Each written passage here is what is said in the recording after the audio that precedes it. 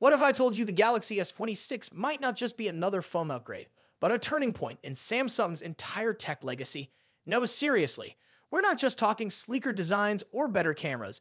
This time, Samsung might be making the heart of the phone, the chip by itself. And if they pull it off, it could flip the script on Apple, Qualcomm, and even TSMC. Welcome back, viewers. Stam here. Don't forget to like, share, and subscribe for more juicy tech scoops. You'll want to stick around for this one. So here's the spicy part. The Snapdragon 8 Elite Gen 2, the beast that's expected to power the Galaxy S26, is rumored to be made not by TSMC, but by Samsung's own foundry. Yep, after nearly three years of sitting on the bench, Samsung might be back in the game, and they're aiming for the big leagues with their shiny new 2nm process. You've heard that right minus 2 nanometers.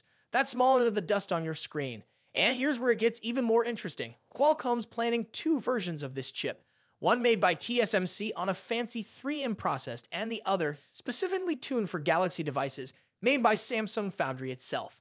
That's like ordering two versions of the same supercar, each built by different pit crews. Which one wins? That's the billion dollar question. Let's rewind real quick. The last time Qualcomm trusted Samsung Foundry was with the Snapdragon 8 Gen 1, and let's just say it got a little too hot to handle. Literally, overheating, frigging, throttling, you name it. Qualcomm bailed, jumped ship to TSMC, and never looked back until now. So what changed? Well, Samsung's been hard at work behind the scenes, investing big in its chip making tech, expanding production, and opening its ultra advanced Hwaseong S3 fab.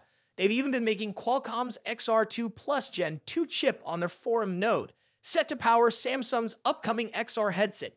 Baby steps, right? But this new 2nm Snapdragon could be the real comeback play. Production testing is already underway and mass production is scheduled for early 2026. If Samsung nails the yield, that is, how many chips come out flawless? They're not just getting a win, they're rewriting the rulebook. Now here's where the plot thickens. What does this mean for the Galaxy S26 series?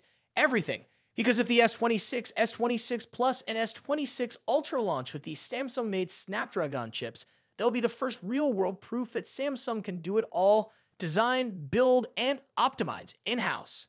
Apple style. That's massive. But it also means Samsung can't afford to screw this up. Rushing the S26 just to one of Apple's iPhone 17 could be a disaster. We've seen Samsung play that game before. Remember the Note 7? Yeah, let's not.